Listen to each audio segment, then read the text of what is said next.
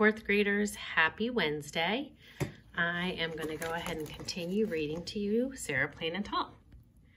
Chapter 2 Caleb and Papa and I wrote letters to Sarah, and before the ice and snow had melted from the fields, we all received answers. Mine came first. Dear Anna, yes, I can braid hair and I can make stew and bake bread, though I prefer to build bookshelves and paint.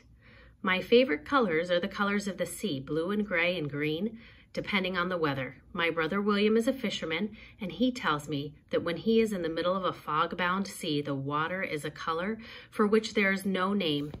He catches flounder and sea bass and bluefish.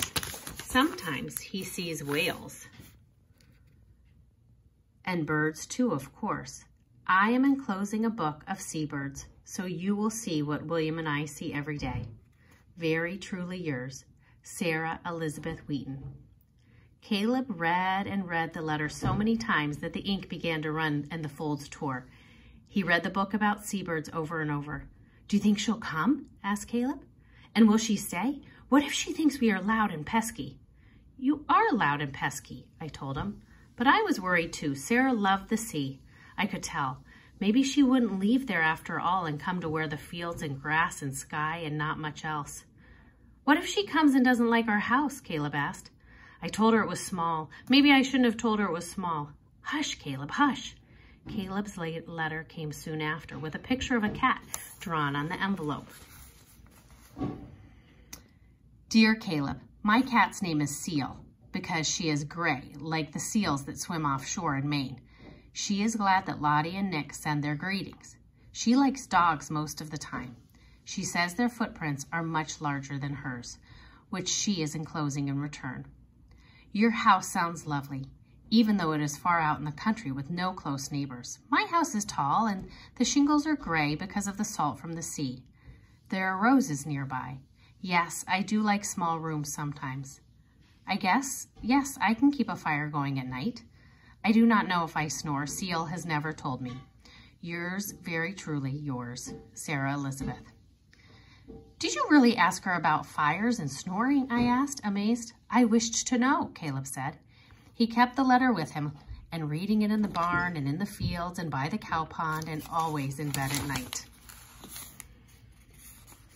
One morning early, Papa and Caleb were clearing out the horse stalls and putting down new bedding. Papa stopped suddenly and leaned on his pitchfork.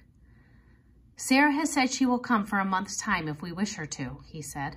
His voice sounded in the dark, sound, his voice loud in the dark barn. To see how it is, just to see. Caleb stood by the stall and folded his arms across his chest. I think, he began.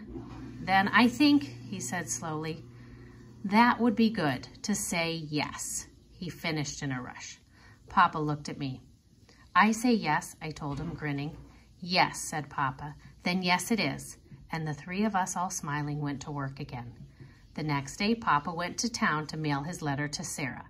It was rainy for days, and the clouds followed. The house was cool and damp and quiet. Once I set four places at the table, then caught myself and put the extra plate away. Three lambs were born, one with a black face, and then Papa's letter came. Dear Jacob, I will come by train. I will wear a yellow bonnet. I am plain and tall. Sarah. What's that? asked Caleb excitedly. Peering over Papa's shoulder, he pointed. There, written at the bottom of the letter. Papa read it to himself. Then he smiled, holding up the letter for us to see. Tell them I sing, was all it said. And tomorrow we will read Sarah Plain and Tall. Just a little hello to you kiddos. Hopefully this is working. I just turned it around. I hope you had a good day. I am going to work over the next few days to come up with some ways to make um, some lessons to go along and help you with next week's lessons online. I miss you. I hope you're all doing fine. I'll talk to you soon. See you tomorrow for chapter three.